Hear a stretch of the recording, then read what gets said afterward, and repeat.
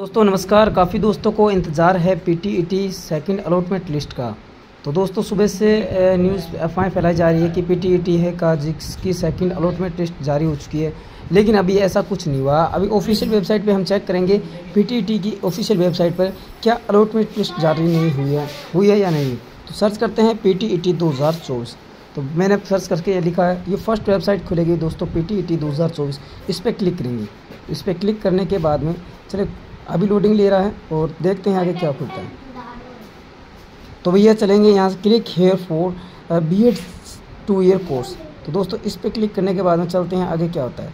दोस्तों, इसको मैं जूम करूँगा और जूम करके देख लेते हैं यहाँ क्या हुआ अब जारी जारी हुआ या नहीं हुआ? रीप्रिंट ऑलेट अभी तक दोस्तों, देखो इसमें कोई ऑप्शन नहीं है। Reprint application form result P T E T और पेमेंट इनवॉइस वगैरह कॉलेज लिस्ट तो दोस्तों, इसका अलग से एक ऑप्शन आ जाएगा तो आप पी टी टी का रिज़ल्ट चेक कर सकते हैं। Second thank you for watching this video